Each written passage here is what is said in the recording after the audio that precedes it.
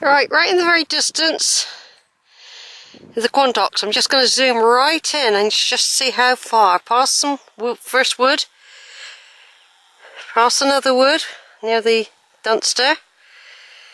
Right over there, that is the Quantocks, right over there. That's the Quantocks that I've walked and explored. I'll just zoom out again so you can see just how far away I am. And I'm... Porlock could be down here somewhere.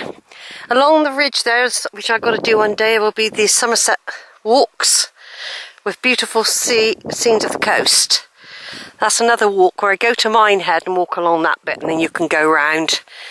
That's just like, or you can carry on if you're a big walker, but to do those consistent walks, you have to have someone pick your stuff up, take it to the next hostel or bed and breakfast or hotel, or however you're doing it. You need to have, have um, there needs to be some sort of organisation to be able to say, right, well, six months I'm walking the coast. Right, now here's that track I seen earlier that, that cut us through from the other track. See? Someone's put a little stone up, a little stone there for my sister Jude. I've already put two stones on for the family, the world, and my sister Jude. There's another one there.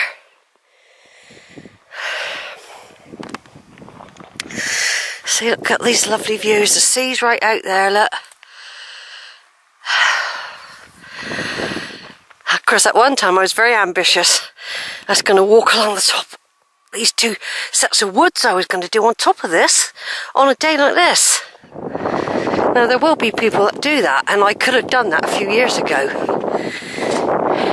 And I probably still could if I set off early enough.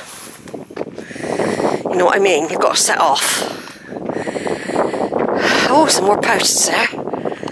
We're heading for Webber's Post, I think. And I expect there'll be some more of those orangey red ribbons and trees. Obviously, they've been used for somebody. They might have been at the weekend though, and they just haven't. Oh no, I can see one ahead. Right, ah, yeah, they've actually got um, a sign to Wootton Courtenay here. This is where I. This is another way I. This is why it's good to remember all this because the church is down there.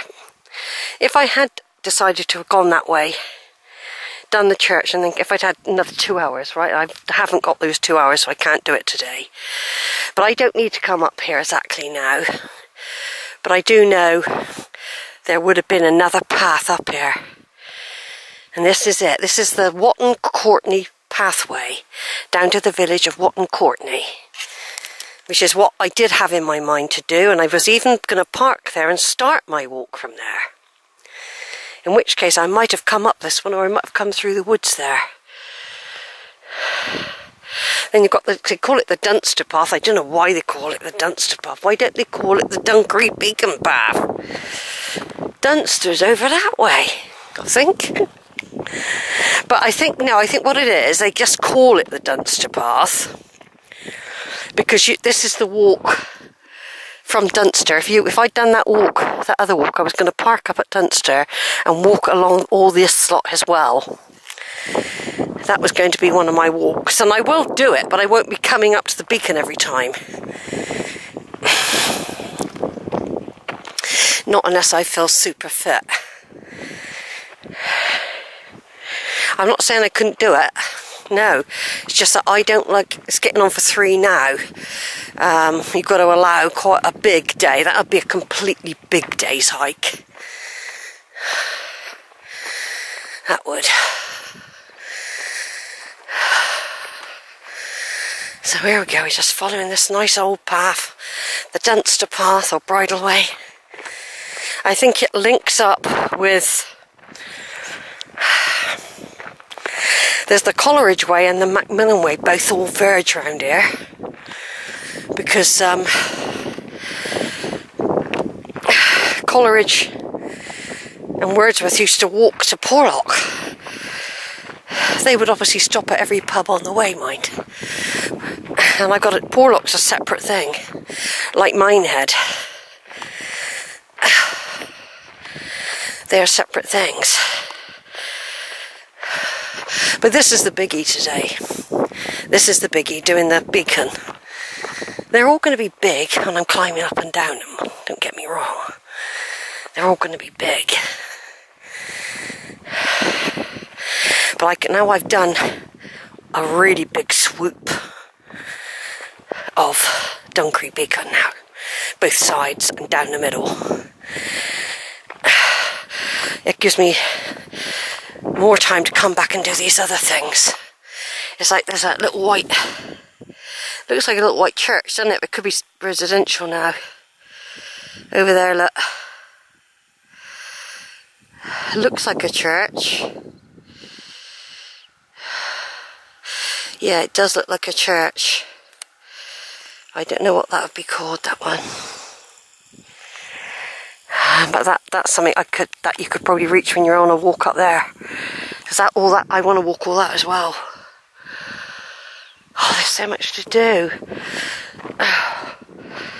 Like I said, I do get low at times, but I tell you what, when you come out doing stuff like this, God just lifts you. Honestly, I do. We all get down. I know we do. But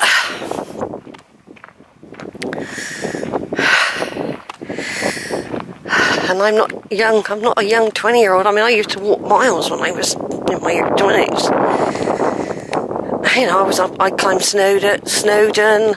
I walked twenty-five miles once through the Caledonian Forest in Scotland on my own, by the way.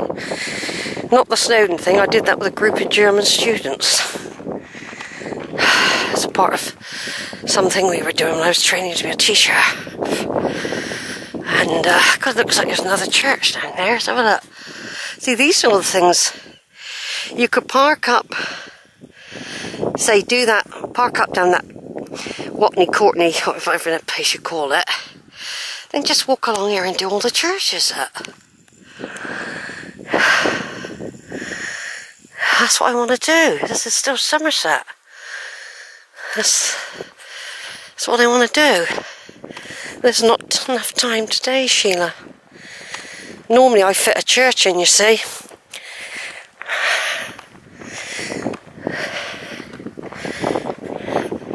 Is it beautiful, everyone?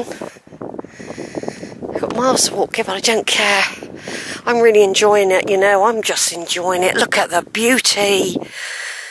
Oh my goodness. I'm overwhelmed with our beautiful Somerset. Like I said, I've had to wait until I'm 60, in my 60s basically, although I started in my late 50s. In my late 50s, I was biking everywhere. Not up here or anything, but I was doing a lot of my Somerset churches on, on a bicycle. Then family tree, I started going away in my camper van. Further away, of course, not just not Somerset, all over the country, mainly Cambridge and Suffolk. But I went everywhere, up to Scotland, and walked when I was away on my trips. And uh, I don't think we should have to wait. I know there are lots of young people that don't wait till they're retired. Maybe you can organise your life differently. I mean, I used to run marathons, so there was time when I was young, but I'd never thought about walking. I was a runner then, or a jogger, if you like. I'd never dreamed of walking anywhere, not really. I would have thought, God, this is taking ages. You know, so do change as you get older. Oh, God, I just can't get over it. I just can't get over the beauty. Over and out.